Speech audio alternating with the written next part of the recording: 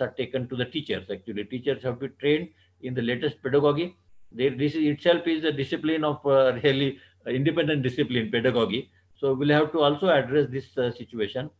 And uh, mm, teaching has to be there to facilitate learning.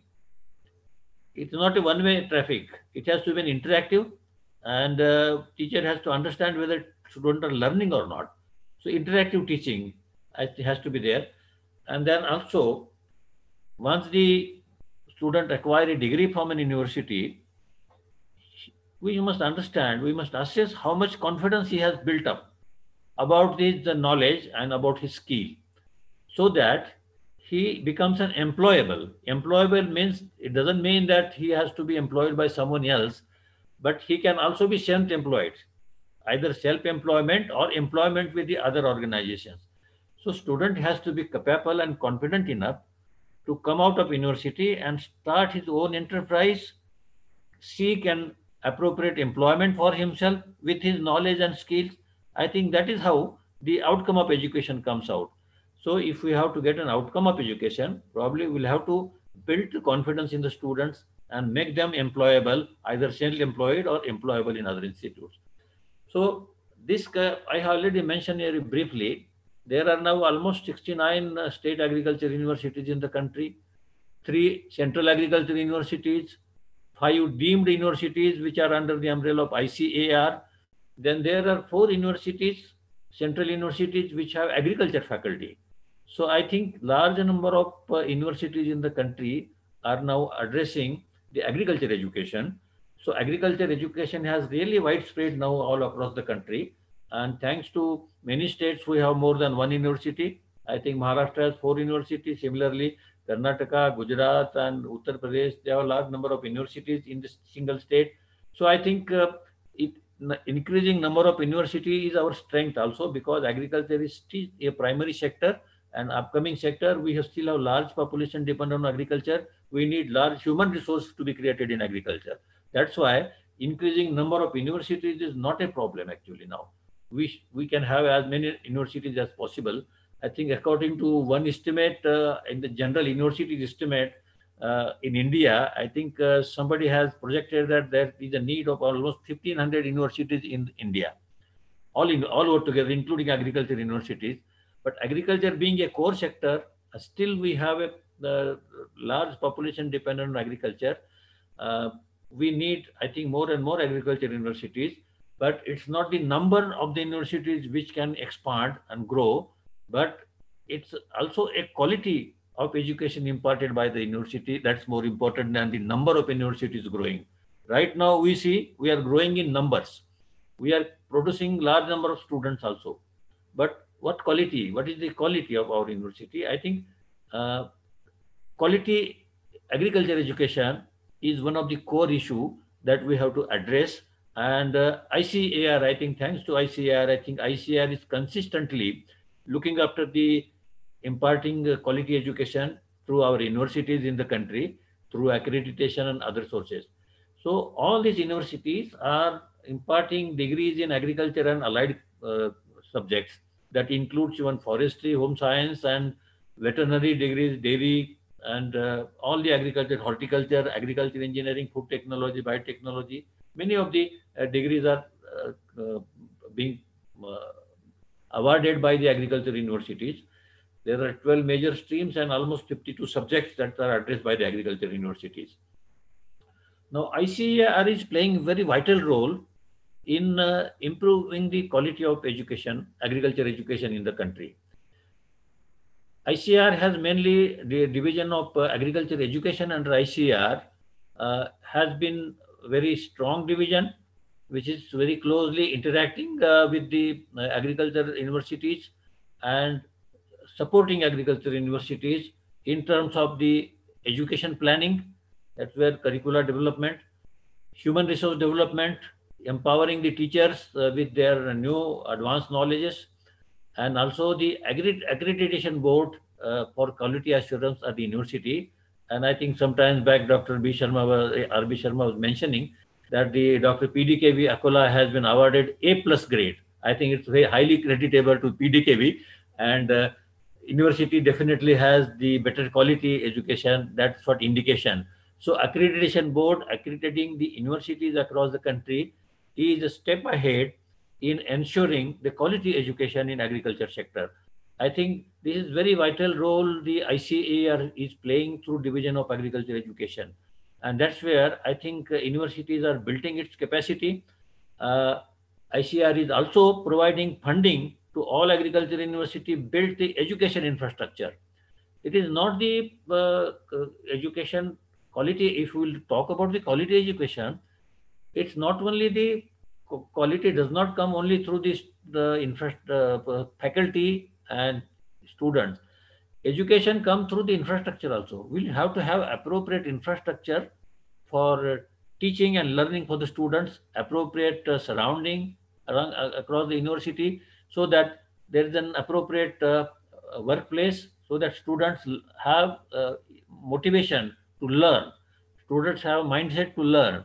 Teachers have their full activity of mind to teach, and that's where the faculty, students, and the education infrastructure in the university plays very important role.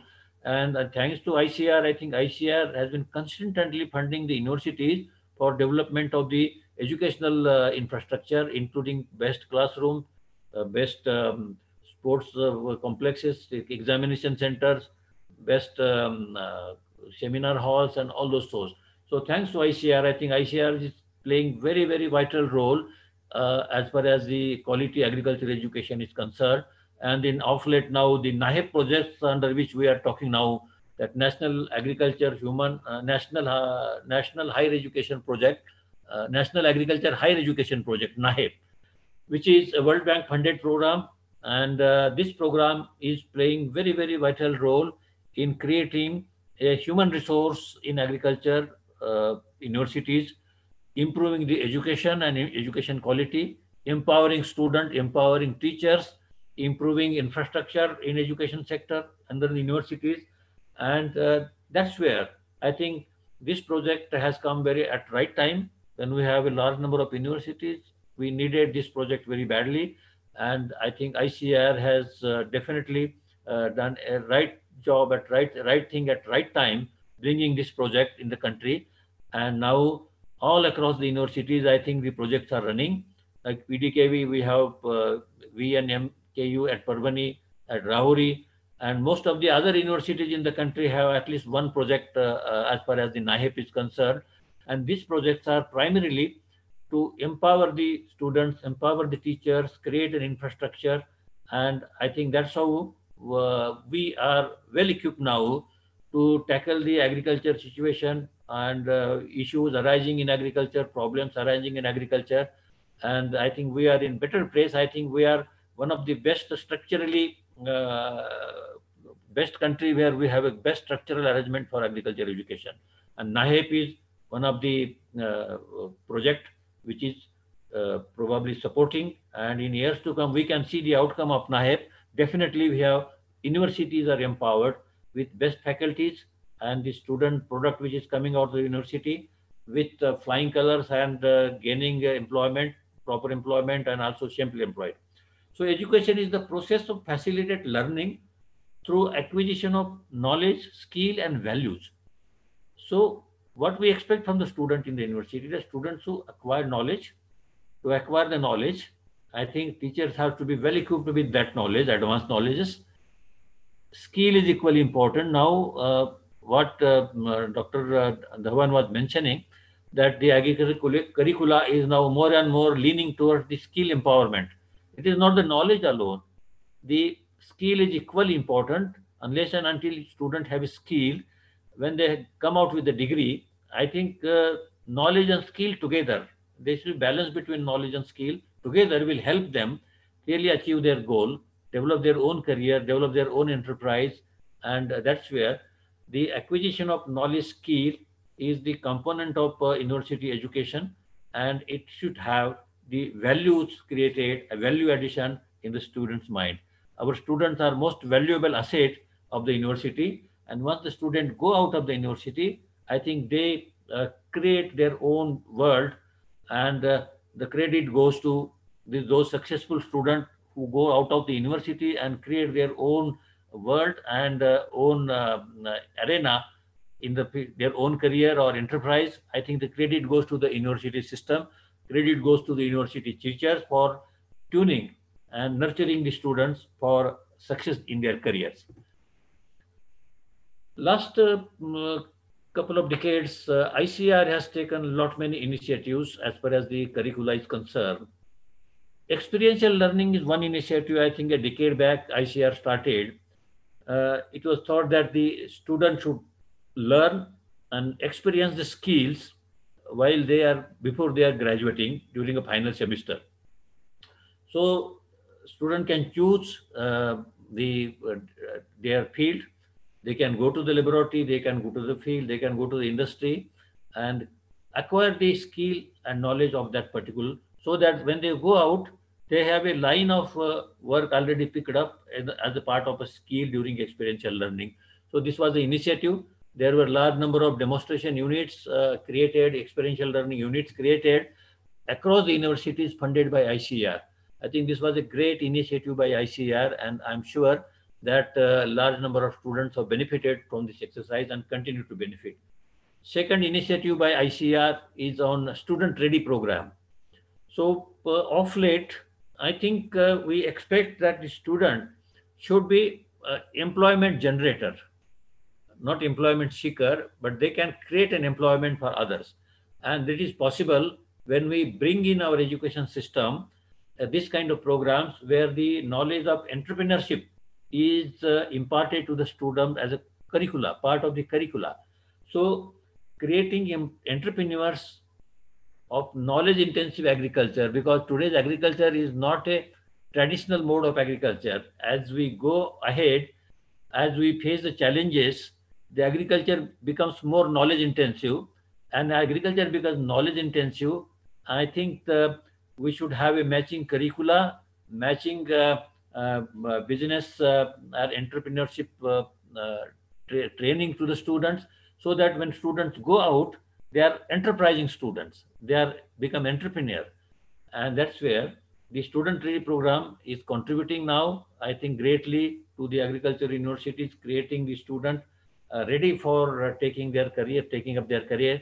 ICAR also has a national talent scholarships so that to attract uh, talent to the agriculture sector I think in the earlier, mostly students prefer to go to the engineering, medical, and then leftover student come to agriculture. But I think scenario should change now and gradually changing that student to take agriculture as their primary career. And uh, those students at the school level and little later level, I think we can attract the best of the talents in agriculture sector. And ICR has taken very right initiative with uh, initiation of this kind of scholarships. Also, ICR has supported niche area of excellence in each of the universities, uh, some of these center of excellences are developed so that that area, which is region specific, location specific, uh, to be addressed by the at the university, is available to the students to develop their career. I think each university has strengths, and those strengths can be built up through the niche area of excellence, and the jurisdiction of the university uh, really can take advantage of this niche area, uh, and students also are trained in those niche area. I think this one ICAR initiative is post-matric scholarship, junior research fellowship, senior research fellowship. I think these are the initiatives ICR has taken and these have greatly benefited the state agriculture universities which are uh, probably uh, long way benefited long way by the ICR's initiative. ICR has also taken initiative long back that there should be a summer and winter school where the teacher at the entry level must go through this kind of trainings for 21 days. There are also short courses so that there is a knowledge upgradation. Teachers upgrade their knowledge in the advanced areas of their subject. So this is going on. I think teachers are taking advantage of this. I think every university are, are organizing one or two winter schools uh, all ICAR institutes are organizing winter schools. And this kind of structure that is created under the umbrella of ICR and great funding by ICR through education division is greatly benefiting the education in the state agricultural universities. Now, what are the challenges of uh, uh, agriculture sector? Those are challenges of education also. So I have divided some slides, I think uh, education one, two, three, like that, so that some of the challenges I'll be addressing because if these are the challenges of agriculture today, these are also the challenges before the education uh, also. So that's why we must understand challenges of agriculture sector. I think we all know that food security and nutrition security are the challenges. Now, as far as food is concerned, we are uh, good enough. I think Green Revolution brought, brought us a security and we still continue with the secured food. We have almost 295 million tons or so. But if we look at the future, in 2050, our population will be almost 150 crores. And if we consider uh, that 750 grams uh, per capita per day is the food requirement, I think we require almost 450 million tons of the fruit, food in 2050. So if we have to achieve the goal of 2050 with the limited area available today, I think we'll have to go in a long way. Our food production growth has to be almost 5.5% per annum. Then only we can reach 450 million tons by 2050. And I think with the kind of advancement of the technologies and the kind of research network that we have, we have achieved the goals and we can definitely achieve these goals. And this is where is a challenge uh, before agriculture as well as this is also challenge to our students also. So this kind of challenges also should be part of our education curricula. Second challenge is nutrition security.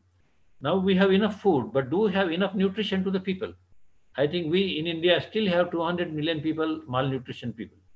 So this kind of nutrition, your nutrition, malnutrition is not limited to, uh, uh, as understand uh, traditionally by people that only it is limited to tribal population. No, no, it is not limited to tribal, tribal population alone. Even well-to-do people are also malnutrition because of their food habits, overweight and over, over, over food, unbalanced food, so nutrition is not a problem of only poor people. Nutrition problem also rich people. So malnutrition, nutrition security of people, and hereafter, whenever we grow a food, we should also have a component of nutrition food, and that's why coarse cereals are getting more important. We have rice and wheat. Uh, I think achieved our food security goals, but we have a lot of coarse cereals which are unattended. We have a lot of pulses uh, those are not attended. I think those have to be brought forward in hereafter so that our nutrition security with balanced diet is maintained. That is need of the country along with food security, nutrition security.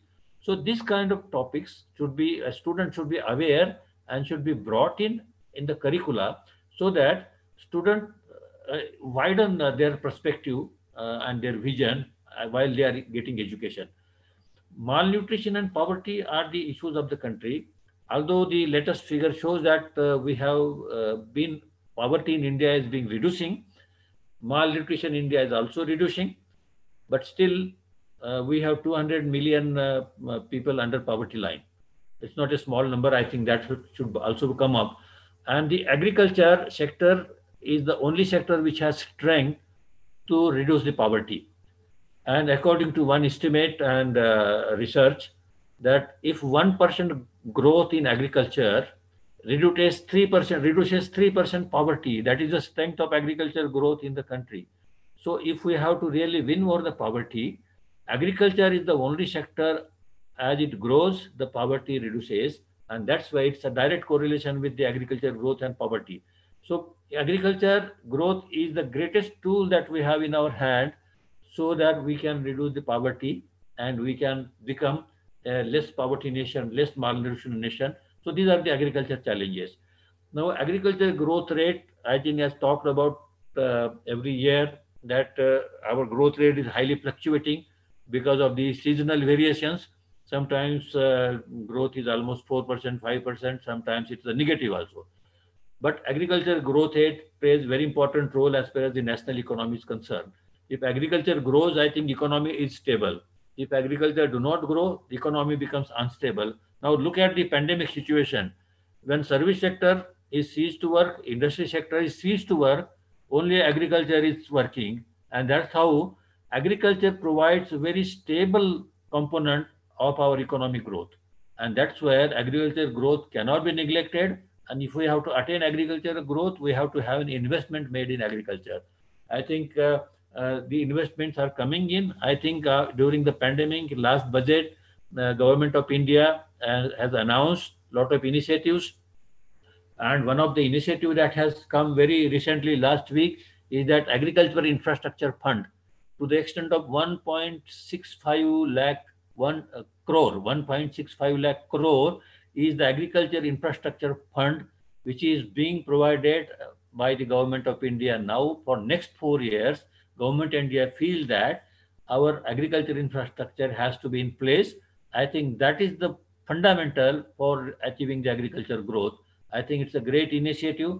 I think we all should look forward those infrastructure so that uh, it is not the infrastructure alone, but the agriculture graduates and uh, those uh, scientists which are coming out of the university, I think they have the great role to play as far as agriculture growth is concerned.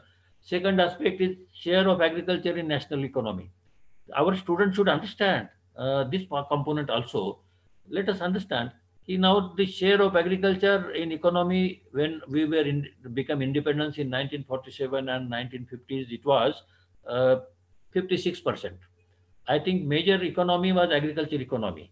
I think if you look at the um, political party symbols at that time, the, uh, one of the party had a bullock pair as a symbol, another party had a, a farmer having plow on their shoulder as a symbol because the, at that time farmer and agriculture was the only uh, uh, way of uh, economic development and that's where government at that time and that 56% share in the agriculture economy has come down to now 14%, 13%, 15%, 14% in that range.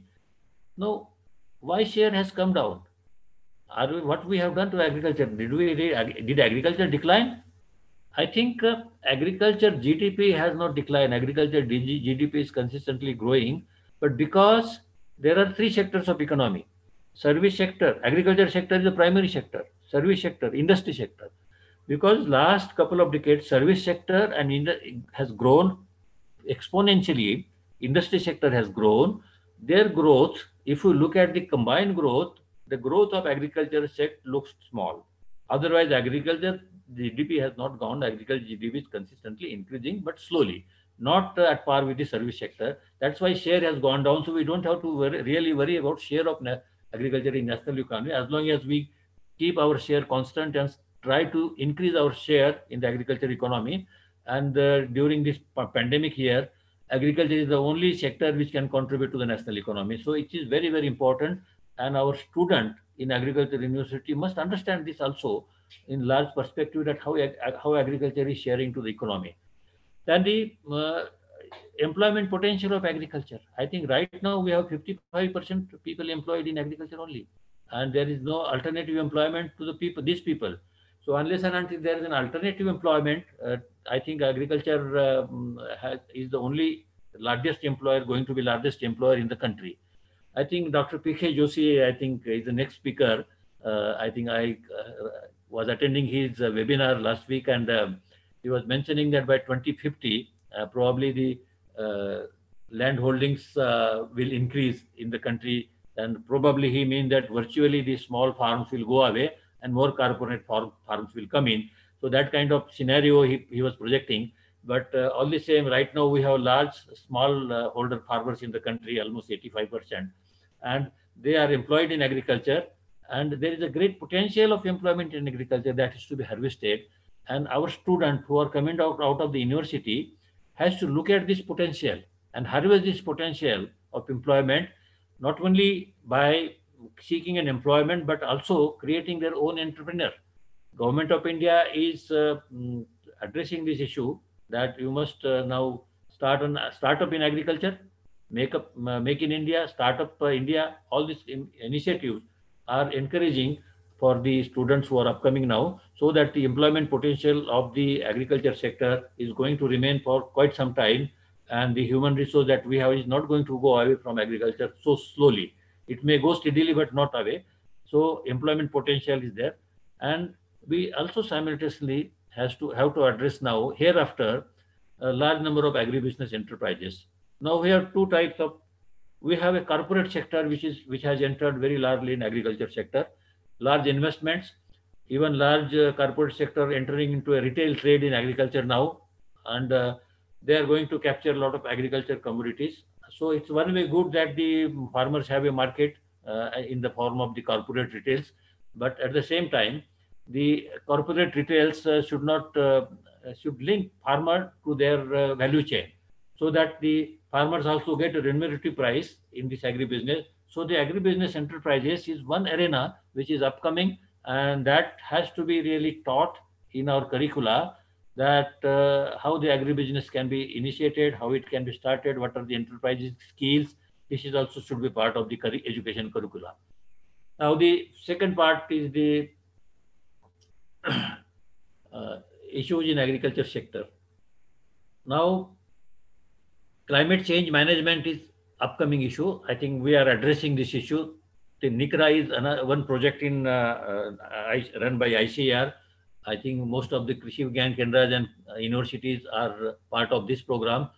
So climate change is definitely affecting the agriculture productivity, not only agriculture, but the animal productivity, fish productivity. All the sector is badly affected and we'll have to mitigate this uh, climate change impact on agriculture.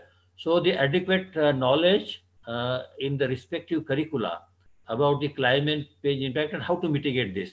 So the experiences of NICRA project, some of the states like Maharashtra has a PoCRA project. I think state like Orissa has an OCHRA project. So I think these projects in climate mitigations are going on. So the experiences coming out of these projects has to be part of the curricula, local curricula. Actually, students from Maharashtra, those who are in Vidarbha Marathwada, must really get the outcome of NICRA and teach the students how to manage the climate change. I think this is uh, one initiative. Secondly, uh, environmental criteria. Agriculture um, uh, friendly, uh, environmental friendly agriculture is the key of the sustainability hereafter. Because of the excessive use of chemicals, uh, burning of the uh, crop residues, excessive, mm, we have a, deforestation. We have no forest left in the most of the areas now. So I think uh, as far as Vidarbha is concerned, uh, fortunate that because of the some part of the Vidarbha has a good forest, uh, some 12, 13 percent. Marathwada has only two or three percent forest. So uh, declining the forest area, uh, environmental degradation, I think burning of the crop residues has to be stopped. So environmental friendly, eco-friendly agriculture is one of the key and this has to be taught to the student in a curriculum that how to really maintain an ecosystem of agriculture which is environmental friendly. And we do not we no more uh, agriculture is no more accountable for no more counts in uh, environmental pollution. Uh, at the same time we have uh, very rapid uh, degradation of resources like our land and water. I think uh, large number of land is saline uh, degraded land. Large number, large portion of land is also um, eroded. So this is continuously degrading. So we'll have to really halt the degradation of land, degradation of water, declining of water resource. It is not only declining of water resource, it is not the availability of water resource alone, but the quality of water available for irrigation. Water availability is also declining but the quality of water available for irrigating crop is also declining. I think most of the areas and groundwater is polluted because of the industrial pollution. The municipal sewage water flowing out of the uh, many big towns is uh, uh, polluting groundwater and groundwater is used for irrigation. So I think uh, this is recycling of heavy metals and uh, poisonous elements is again back to the food, food chain and this is very dangerous. So the resource degradation of resources has to be controlled and that's why productivity of land water and crop increasing is also a challenge before us. Right now we have stagnated productivity of many crops. So how to break those yield barriers is one of the challenge before us. So increasing enhancing the efficiency of the production of production agriculture is also theme. Here the role of mechanization is great in improving the production efficiency because the efficient use of inputs including labor, including machinery, is the way out for increasing the production efficiency. We have to have a less cost of production and uh, uh, a better output from the agriculture so that efficiency will improve. then we have to concentrate on post-production activities. We have concentrated more on harvest activities, but not post-harvest activities. And then finally, uh, consumer demand assessment is because what we should grow, what consumer is demanded because farmers grow, but if there is no market, I think that's where profitability is marred. That's why right now the demand is also that what consumer needs to be produced, what uh, market demands is to be produced. So I think we have to be vigilant. Market intelligence is should be a part of the curricula. Students should know what is market intelligence and what farmers should grow so that students are aware when they come out, they are aware about all these issues of agriculture. And finally, agriculture profitability. If agriculture is not profitable, if agriculture is an enterprise, if it is not profitable, it cannot sustain for longer. So agriculture has to be profitable. So to be profitable, I think minimizing cost and maximizing output and the income of the farmers is the way out. So government of India has very rightly initiated, they want to double the farmers income by 2022. And it's a great initiative, I believe. And uh, but right now, uh, farmers' income is one fourth of the per capita income of the country. Right now, per capita per capita income of the country is close to one lakh or so, whereas farmers' income is just forty thousand or so. I think it's not the doubling alone, but if farmer has to catch up with the national per capita income, farmer income has to be enhanced to four times. But at least the theme of doubling farmers' income is good enough a step ahead, and then we can talk about enhancing four times. But this is these are the challenges before us. These are the current issues in the agriculture, and during our course curricula, during addressing students, when the student graduate, I think they must have sufficient knowledge of these basic issues in agriculture sector. Then the another uh, uh, issues are, as I mentioned, the sustaining food security. There is a prediction that if we do not break our yield barriers, we may not be sustain our food security uh, if we do not maintain our growth rate. So to sustain our food security, we must consistently try to enhance our productivity, not the production, productivity of the crops. And if productivity of crop increases with a because we have limited, we have no potential of expanding area, land area. We have only limited area. So productivity enhances. And this is where we can sustain the food security. Farmers' income, I have mentioned about simultaneously, it is not the food security, but farmers' income. Investment in basic, I think I have mentioned agriculture infrastructure fund is coming in a very large way. This will take up this.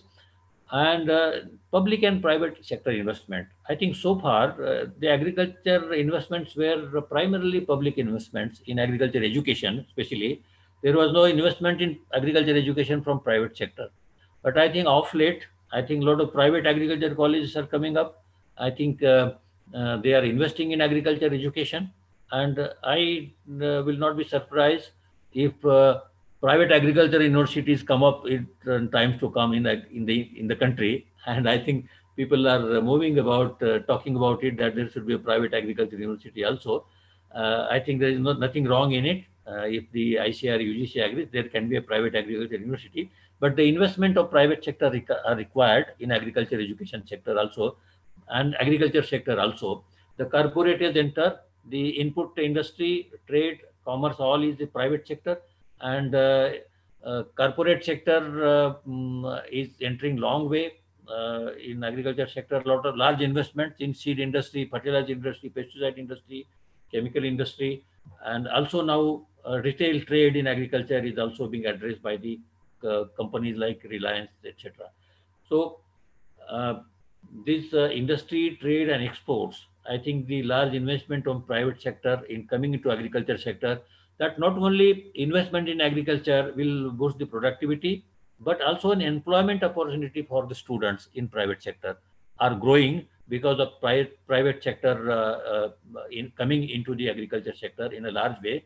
Government of India has allowed uh, investments in agriculture uh, sector by private parties direct uh, uh, foreign direct investment is also attracted in agriculture sector. Government and government of India has allowed, and I think large um, food chains are coming into India, and that will create a large employment opportunities for our graduates also.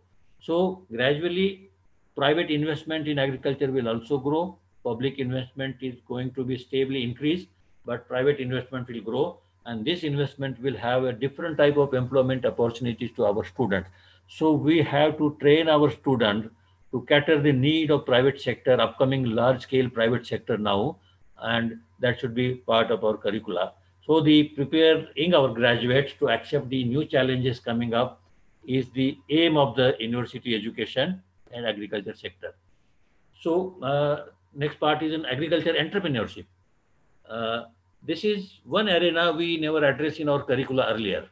Although we started agribusiness uh, management uh, colleges and uh, postgraduate education in this area, but uh, it should be a part of the all degree courses as far as the agriculture entrepreneurship is concerned. The reason is that when the student go out with a degree, I think he should be competent enough to think about his own enterprise. And that is the challenge now because hereafter there, is a there will be stagnation in employment. Only competent student will go to the employment and other students have to find their own way of uh, mm, uh, employing themselves. So self-employment is going to be the key hereafter. So agribusiness uh, has to be a component of the uh, education. So here, agribusiness has a lot of facets actually, and more, more opportunities are there in the post-production agriculture, including the food processing, marketing, trading, uh, export are the opportunities.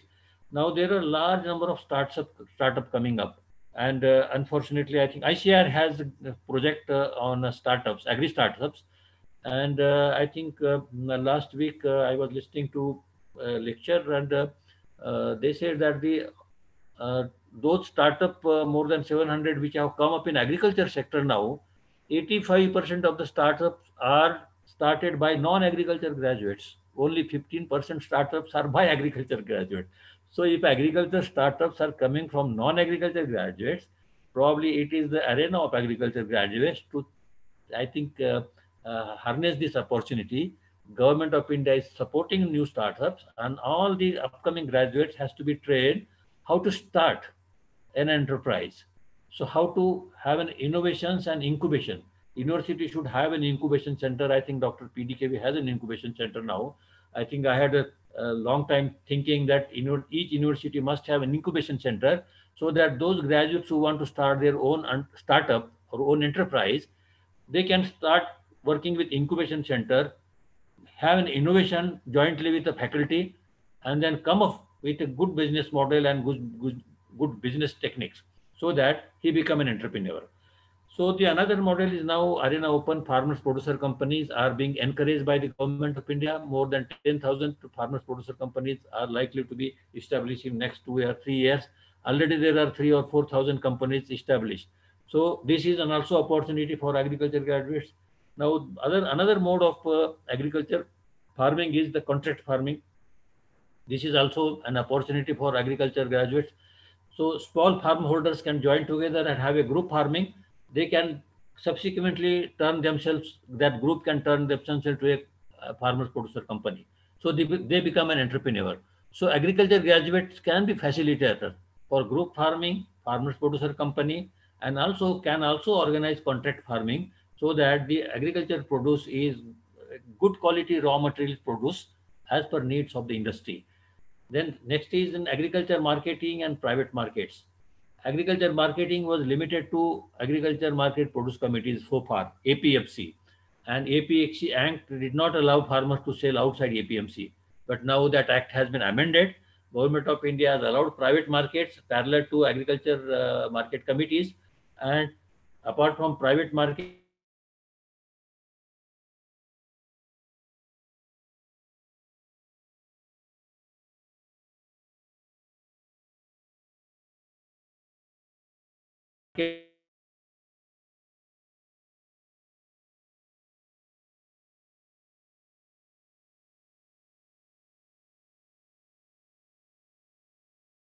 form ENAM, the market has already been done, and more and more markets are joining the uh, ENAM. There is also provision now, the currently promulgated ordinance says that there is possibility of direct marketing by farmers to the consumers.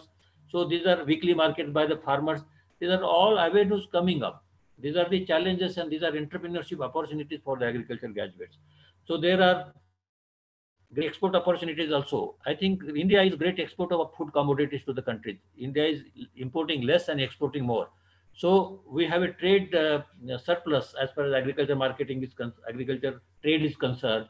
So if India has an opportunity to cater the needs of other countries by exporting more, so we'll have to also train our graduates. Some of the graduates can pick up this arena that export is a great opportunity. Agriculture export is a great opportunity in our country, and uh, larger uh, uh, areas, uh, larger potential for export because countries have their own standards, phytosanitary standards. Agriculture graduate has to understand what are the standards and phytosanitary standards so that we can produce as per the requirement. They can promote our farmers to produce as per the requirement. We have achieved in a grape, we have achieved in pomegranate, we have achieved in mango we have already standards acquired and uh, we are producing as per the international market. So there is a great opportunity for our for export in the country. Uh, and our student, actually all these areas are upcoming areas and agriculture curricula has sufficiently tuned our agriculture students in all these activities. So how can we incorporate all this in current, uh, uh, all these topics in our agriculture curricula? Now, uh, agriculture uh, value chains. In all the commodities, uh, there is a value chain, the production and post-production chain.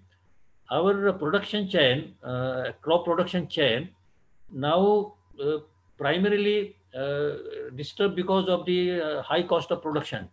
The high cost is coming from high costly inputs, costly labor. So how can you minimize costly inputs? How can we go for INM, IPM? How can we go for use of agriculture, efficient agriculture machineries? How can we minimize the labor? And how can we go for automation in agriculture as far as production agriculture is concerned? Use of robots, use of sensors, use of the uh, intelligent machines in agriculture is going to tremendously help us in production chain. So these are the gaps in production agriculture chain, value chain. So these gaps can be filled by bringing in the innovations done elsewhere or our own innovations and the student to be made to understand the agriculture value chain so that they understand where are the opportunities. If there is a uh, opportunity in one of the gaps, student can fix himself in that gap and he can start his own enterprise. He can start his own startup to fill the uh, gap uh, missing links in the value chain.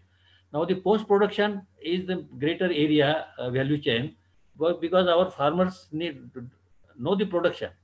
Farmers have produced excellent, um, extraordinary high productivity we have achieved. But what happens later on? Farmers only product and produce and sell. Farmer do not know what happens, happens to his commodity once he sells.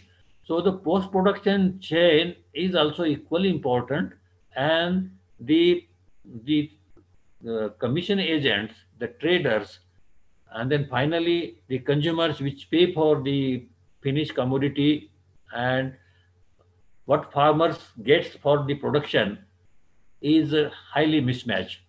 So farmer who is in the production chain has to be part of the post-production chain also so that the what consumer pay the component of that consumer paid should also come to the farmer farmer should be equal shareholder in the complete value chain to make uh, increase the farmer's income. So right now, I think uh, this kind of linkages are missing and challenge before us is now to link this value chain so that the production and post-product production chains are linked together so that the producer benefits from the consumers what he pays and that kind of so, so linking of production system and consumption system together. So understanding the value chain gaps understanding the business opportunity in the value chain. And to understand the business opportunities and you need a management skills. And when you have understood the value chain and there is a great opportunity that you should become a value chain manager. So there has to be large potential. Now you have a business opportunities you need management skills and you also need value chain management skills so this kind of value chain components to be addressed, I think our education curricula must adequately address these issues and train our students who come up with the empowerment, empowered knowledge when they come out with a degree certificate, I think these should be empowered with all this knowledge and not only the basic science knowledge, but also this kind of management skills and also entrepreneur skill, they should come out. Now, the as the advances in agriculture science and technology goes forward, our curricula also should address these issues. Continuous uh, agriculture innovations are going on across the globe in the country. We have a very large research system in the university and ICAR. So scientific innovations which are really making an impact in agriculture, how they succeeded, what is the contribution of that innovation, how the technology develop, technology is changing the shape of agriculture, how the scientific innovations are changing the shape of agriculture. This should be really tuned with the students actually, so that the curricula has to be really very, very dynamic, so that what is latest happenings in the country and across the globe, what are the changes taking place should be incorporated as a part of the curricula. Also, there are new agriculture systems evolving. Now we say, you know, some people say organic agriculture, some people say precision agriculture, conservation agriculture. The, all these systems are relevant in India because with 15 agroclimatic systems in the country,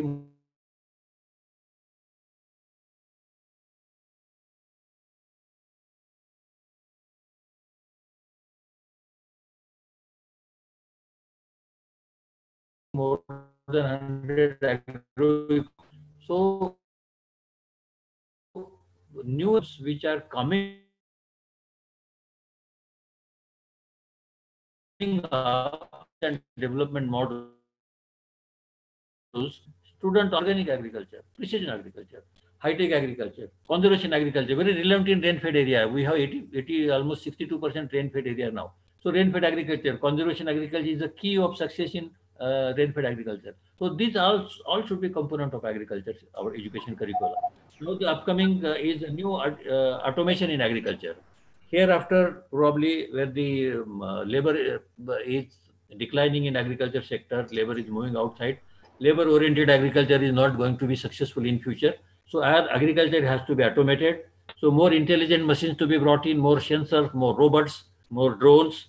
They have to be harnessed.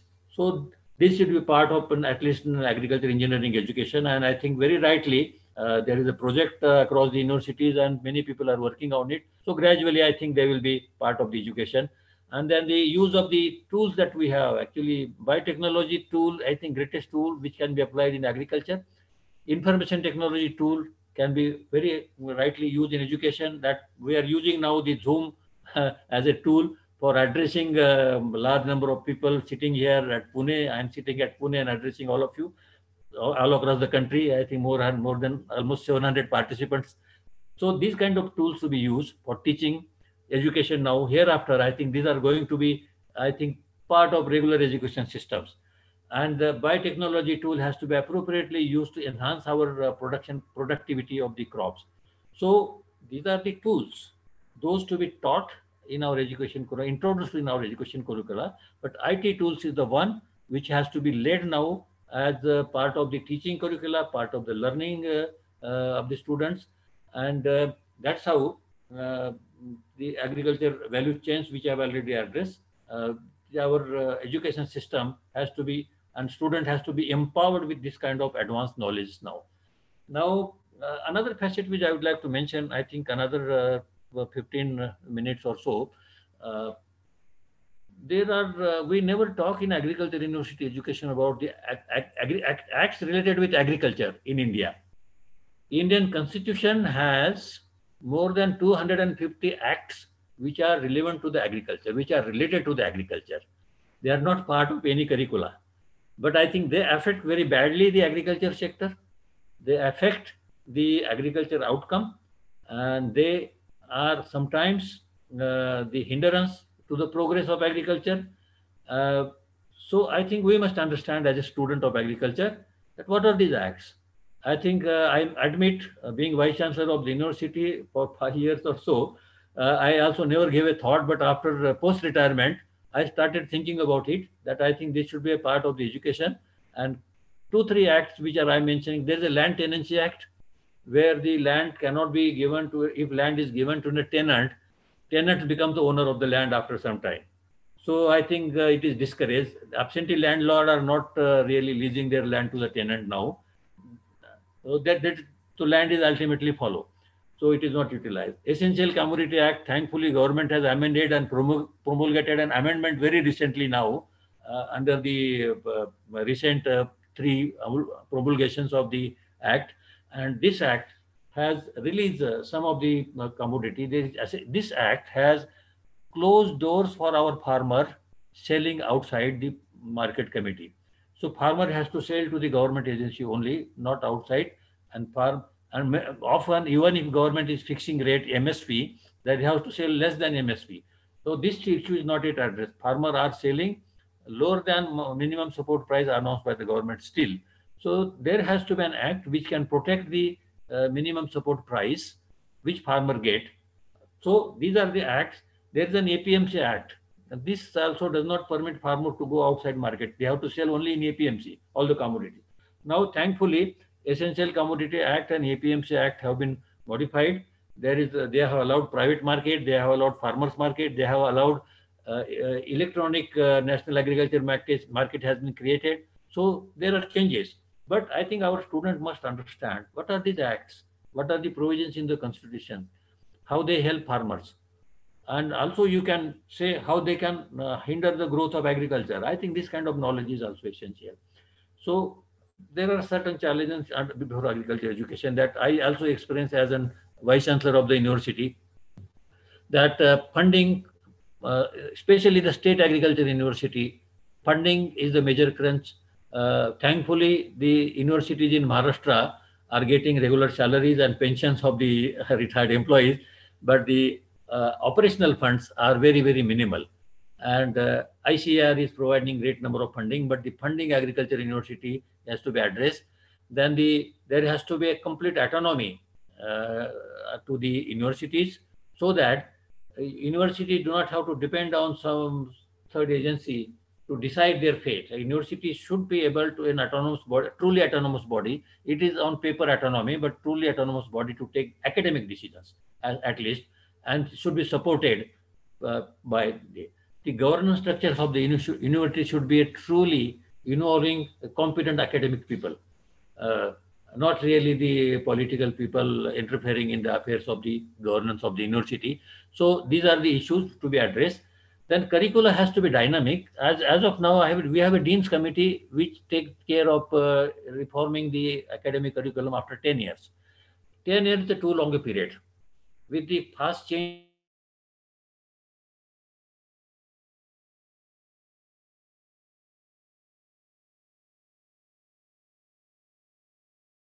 where they sit each what is new arising uh, scenario and how can we bring it in our curriculum? At least few topics can every year added in our curricula and uh, some topics which are not relevant to be also deleted simultaneously. So curricula has to be really dynamic. And then uh, about student engagement, I think we have a credit hour system here uh, we try to engage our students in credit hour system. Uh, students are not free to think in this system. So in a semester system, students are more engaged in uh, attending classes, attending practicals and all those things. But there has to be some potential minimizing the load of the students on their um, uh, classroom teaching and more of a self-teaching by the students.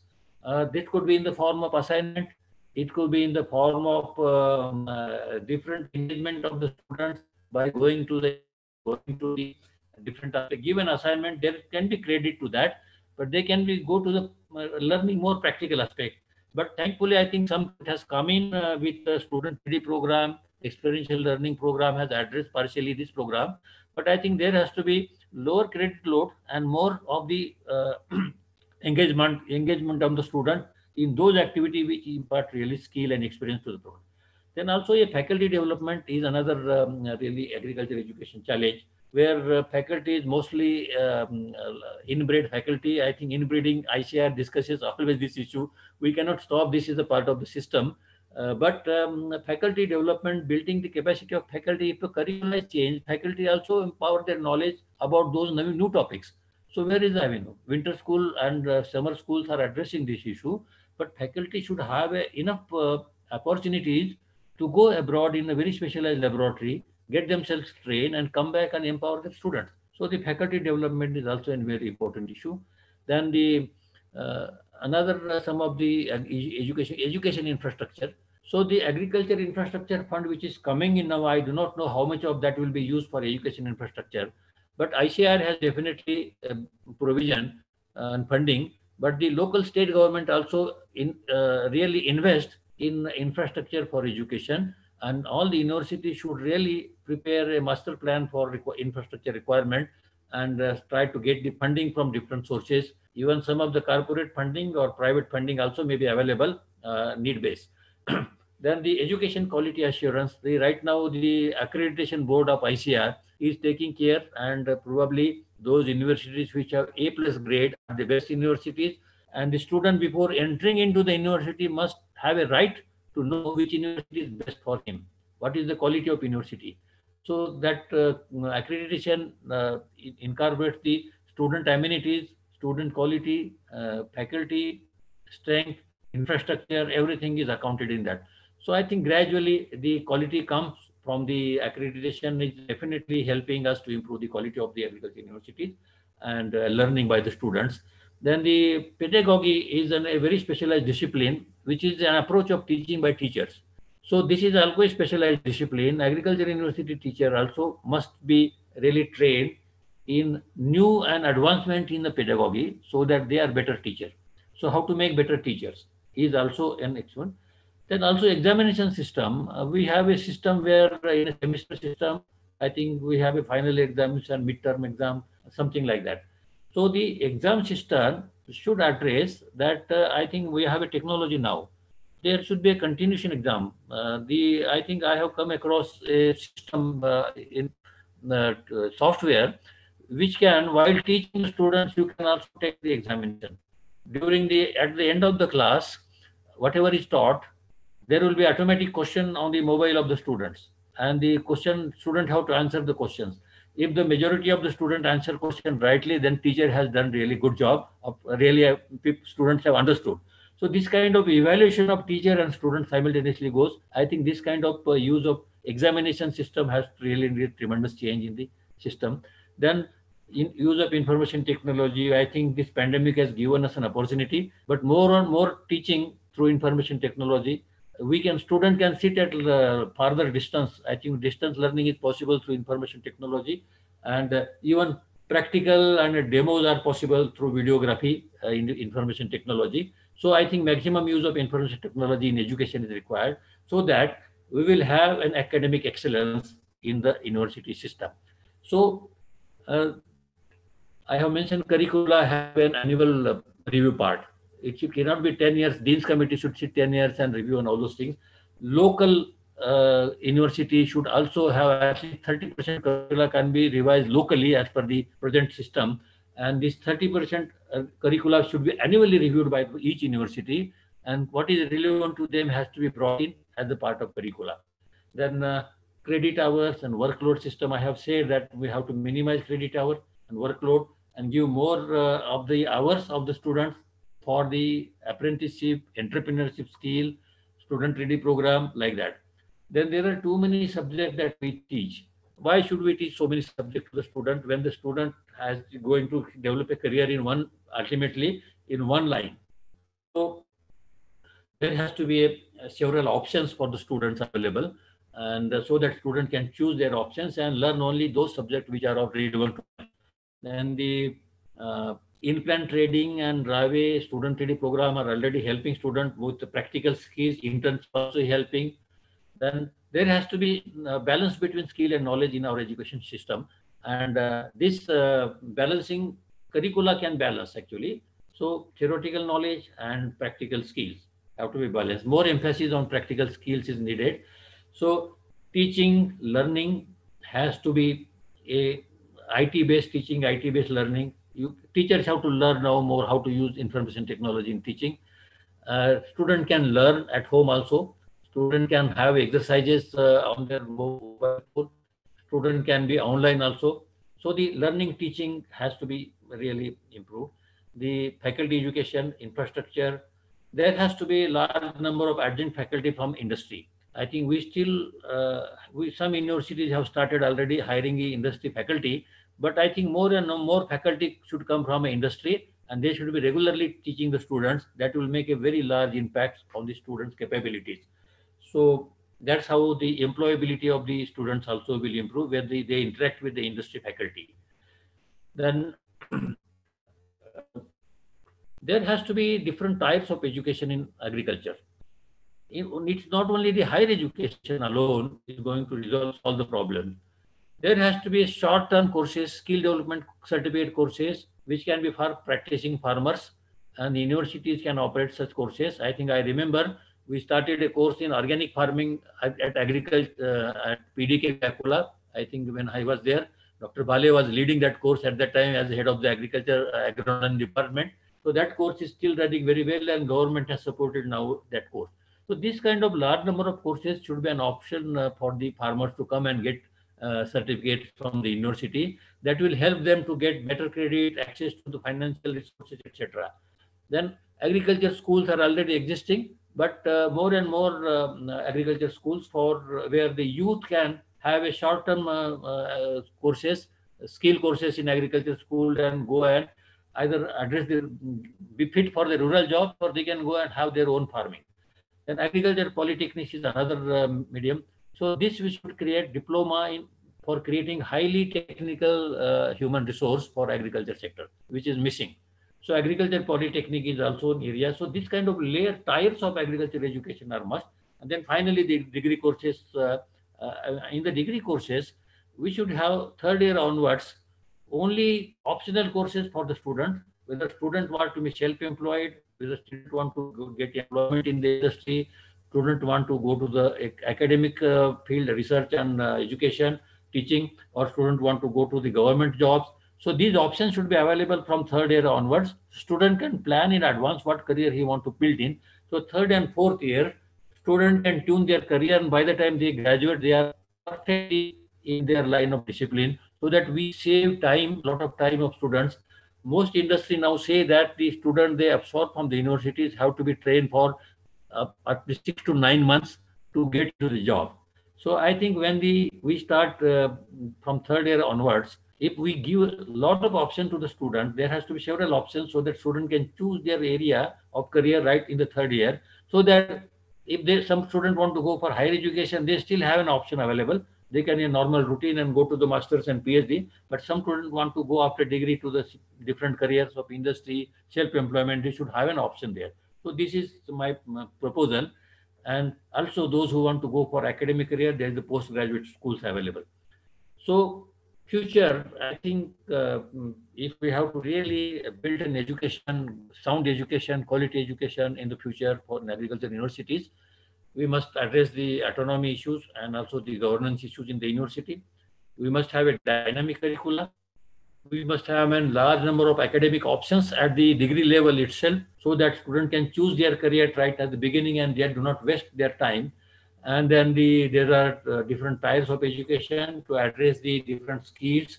And then we have to change our uh, orientation, change our orientation in, towards more learning less teaching, more learning. I think that kind of mode has to be adopted. And then also address the faculty excellence. Faculty has to be really uh, excellence in the, we have to bring in excellence in the faculty, pedagogic uh, requirement of the faculty to be fulfilled. We must change our uh, evaluation system. Faculty also should be evaluated along with students. Students should evaluate the faculty. That kind of system should bring in so that faculty is alert. Faculty is also improve their capability while interacting with students. We must also change examination system so that we test the uh, conceptual understanding of the student, not the what student memorize from the courses, and must use the modern technologies like information technology largely in our agriculture education now. I think all the agriculture universities in India must collaborate with the software uh, industry and get hold of the uh, different uh, modules that they have created for uh, education sector. And I think I tried to interact with the all vice chancellors of Maharashtra Agriculture Universities and I could not materialize. I spoke to Dr. Dhawan, uh, Dr. Bhale, Dr. Vishwanathan, and Dr. Sawant that uh, MKCL has an education model for agriculture universities. And I wanted to organize interaction so that we adopt some of those modules and uh, we become uh, free that technology takes care of the teaching students, learning of the students, and the teacher are also relatively better equipped with the knowledge and students also upgrade their capacity. So technology use has to be enhanced hereafter and pandemic has given us good opportunity for use of technology. So let us facilitate use of technology in our agriculture education system. So finally, our aim of uh, agriculture education system is to prepare students for domestic and global agricultural challenges. So, and I'm sure that with uh, this kind of insights in our uh, uh faculty, students, policymakers, at ICAR level and institute, university level and government, central government and state governments, I think we'll be able to meet the challenges of agriculture.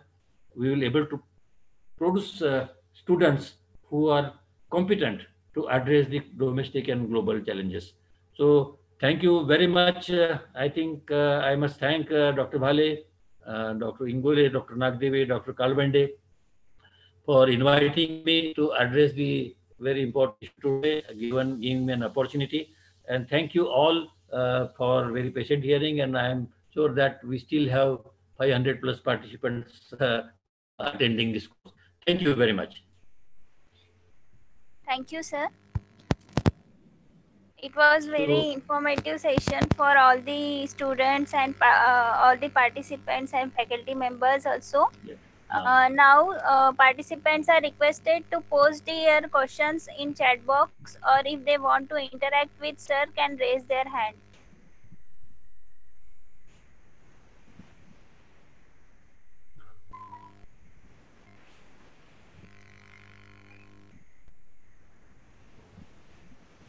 Yeah, participant can ask a question directly or if they are uh, already in the chat box, uh, I think you can read the questions, I can reply. Uh, yes, sir. I have unmuted Manthan Tale. Uh, please ask your question. Uh, good, good afternoon, sir. My name is Manthan Tale. Uh, sir, your uh, session is too good, uh, but I have one confusion about the challenges faced by the agriculture education. Uh, we are saving that uh, means uh, don't you think that developing the good and educated farmer is the main challenge faced by the uh, universities? Yeah that's what i said. There has to be a course for farmers regular course for farmers.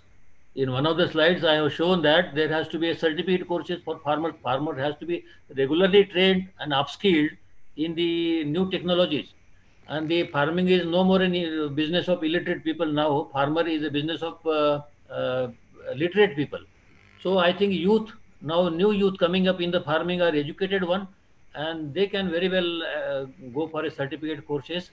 And that's what I say university has to have a three or four tier uh, education system where the lowest tier is open for farmers and different kinds of courses to be addressed. Okay, thank you, Manthan. Uh, sir, there are some uh, questions in chat box. Uh, I am reading it one by one. Uh, uh, what uh, one of the participants have asked what are your views on the formation of horticulture department in maharashtra? What are your views on the on the formation of horticulture department in maharashtra? Agriculture it is part of the agriculture department now.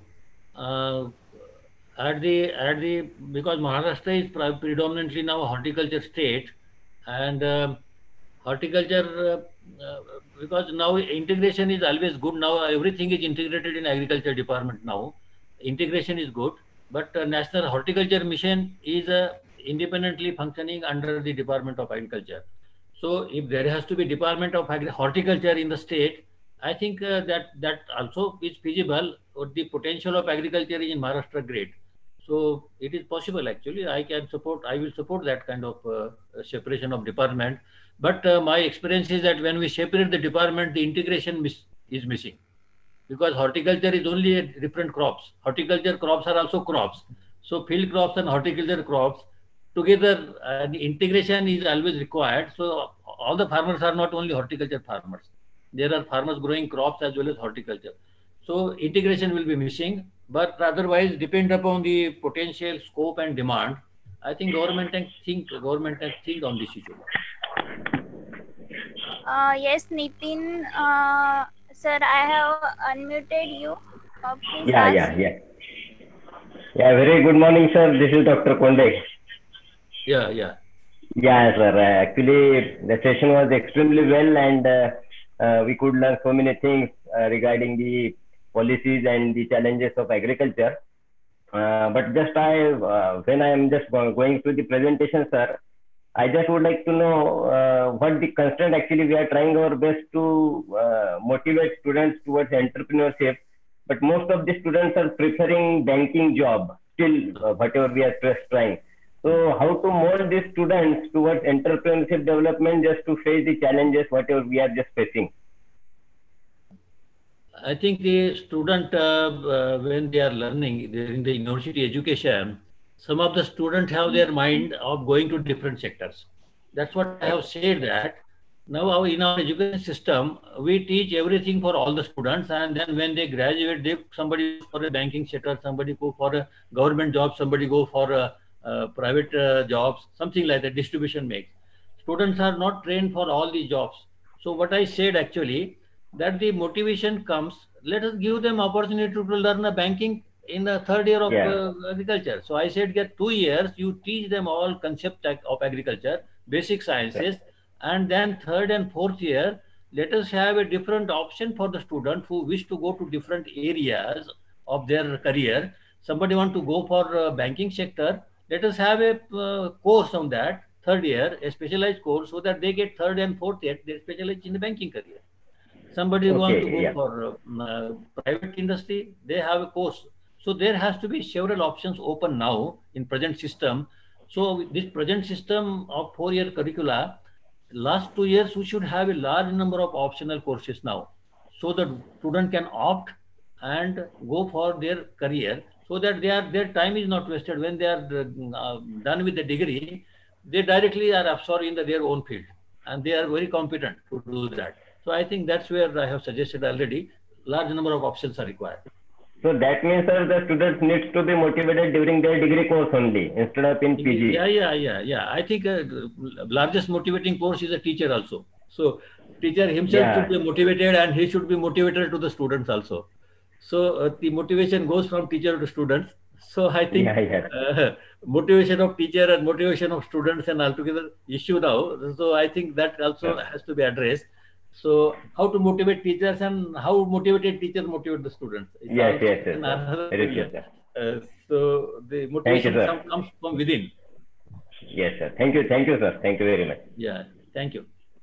Uh, sir, there is uh, one question in chat box uh, that is uh, doubling of farmers' income by 20, uh, 2022. It is Yeah. surveyed that 14.5% is growth rate every year. So, what is your perception regarding this? Doubling farmers in uh, by 2022 is not feasible actually, although this has helped us in tuning ourselves in that area. Uh, everyone started thinking on, yeah, we have to double, double the farmers' income. So steps are taken in that direction.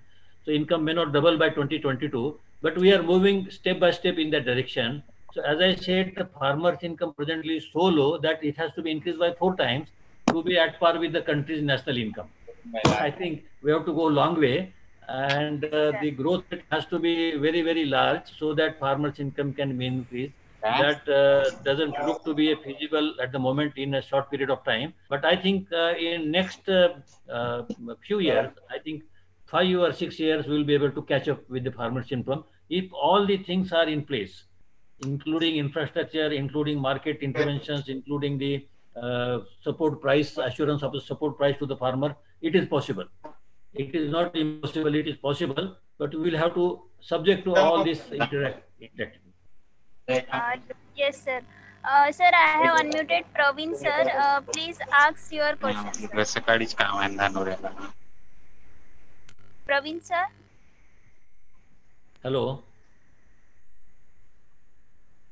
Hello, Praveen, sir. Uh, I think you I can yeah, you can ask the question or uh, somebody can read the question. If it is in the chat box, you can read the question. Uh, yes, until then I am reading another question. Huh. Uh, sir, as we are having uh, RAWE, but due to corona pandemic, uh, we have to do it individual.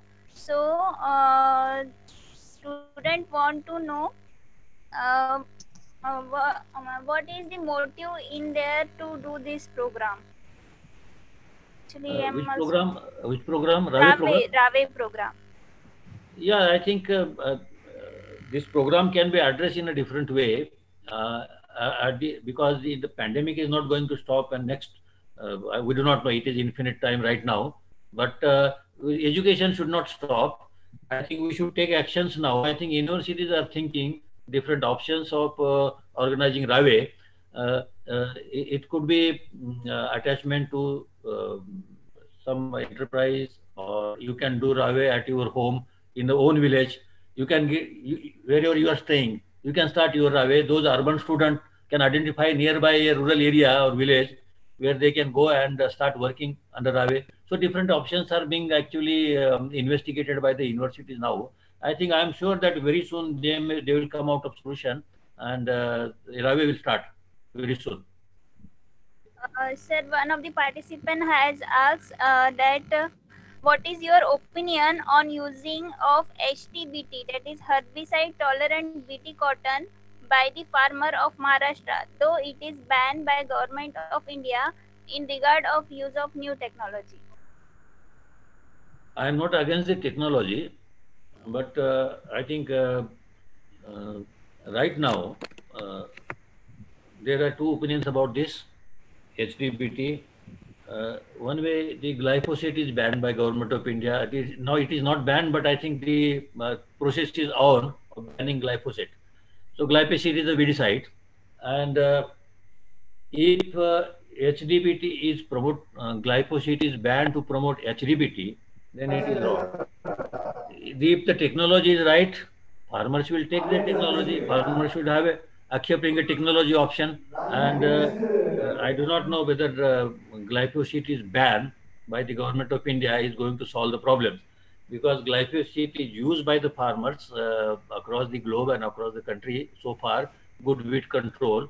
And um, I think uh, these technological innovations which are solving the problems of the farmer uh, should not be banned. Glyphosate should not be banned so suddenly, and uh, anything to be promoted also so suddenly. It has to be tested by the agriculture universities. HTBT test should go on, and if it is proven that it is definitely reducing the cost and definitely control the weed, I think it can go with thorough screening.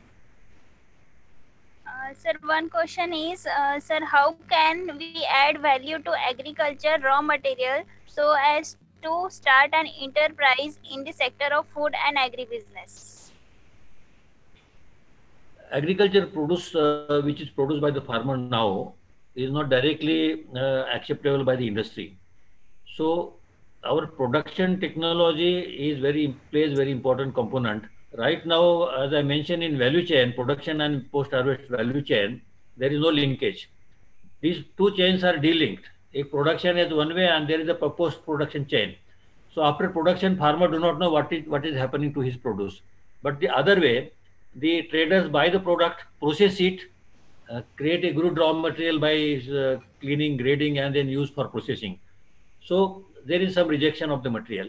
So if farmer can produce the material, that quality material which direct, it can be uh, uh, used for the processing by the industry. Farmers will earn more money and uh, he will have better price for his produce also. So there is a need of uh, addressing the issue either by training farmers to have a better production technology and uh, giving him a latest knowledge uh, or involving processing industry uh, in, in a value chain to help farmers to produce better quality produce which can be used by processing industry. So this value chain is uh, gap is there existing. I think this has to be breached. The question is very good. Uh, thank you, sir. Uh, there are lots of uh, comments in the chat box about the very nice. Uh, I think uh, if you can, uh, uh, because if there are so many questions, it is already uh, 12:45. Yes, If there sir. are questions, uh, you can just um, uh, put, put all the participants on uh, mail or WhatsApp group. And if there are some questions, I can address them on WhatsApp. Uh, Sure, sir. Uh, I have already saved the chat box. Uh, uh, their uh, questions. I will uh, mail you so that you can answer their question. Yeah, yeah. Uh, thank you, sir. It was very nice session. On Yeah. the behalf of NAHEP, it's a, it is my privilege to propose vote of thanks to you. Uh, Dr. Mayande sir uh, is the former vice chancellor of our university, and he is a dynamic person. Uh, sir has very beautifully explained uh, his topic and uh, discussed about the challenges of agriculture sector in education. Also they discuss the current issues in agriculture sector how new initiatives uh, should be carried out in agriculture sector and agri entrepreneurship. What are the agriculture value chains? And also sir has beautifully explained advances in agriculture science and technology and also guided faculties also for their new venture in uh, boosting their capacity uh, and also the uh, sir has uh, told the futuristic uh, future strategies in the agriculture uh, education department so uh, sir it was very fruitful lecture for faculty as well as students also uh, with uh, uh, on the behalf of NAHEP, I am very thankful to you, sir. Uh, no, uh, uh, last but not least, I am also thankful to all the participants uh, who have listened uh, very patiently uh, to Dr. Mayandesh, sir, and interacted with sir. So thank you all of you. Thank you, all participants. Best wishes from my side. And thank you, thank you, Nahe project team. Thank you, sir. All the best. Good luck. All the participants uh, are now uh, requested to mark their attendance. We are uh, putting the link in the chat box of attendance. So uh, you have to mark the attendance on that link. Uh, I am uh, putting the link in chat box. So please don't leave the meeting.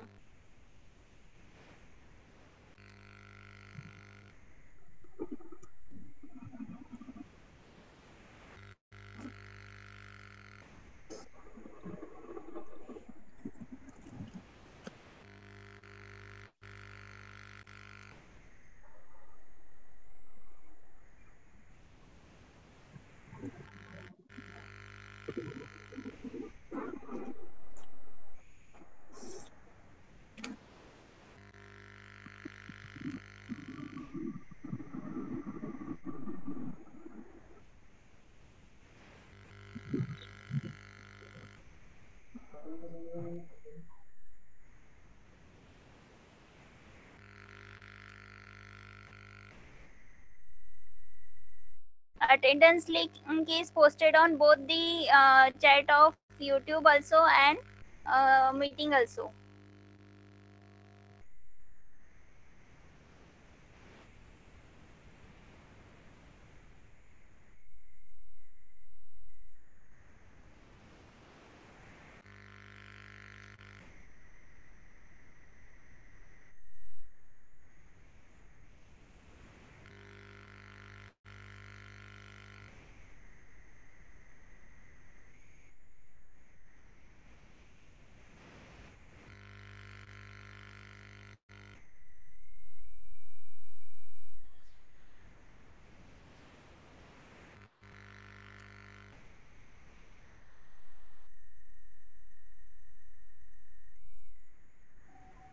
Okay, Sejal, now you can conclude the session. uh, yes ma'am uh, uh, sir can end the meeting i have already posted the uh, attendance link Give instruction for afternoon session also. Okay. Uh, the afternoon session, uh, afternoon technical session will start uh, at 3 p.m. So all the participants are requested to join well before uh, in the technical session. The link for the uh, afternoon session will be provided on respective WhatsApp groups. So and also uh, YouTube link will be also provided to you if someone has problem in joining at Zoom platform.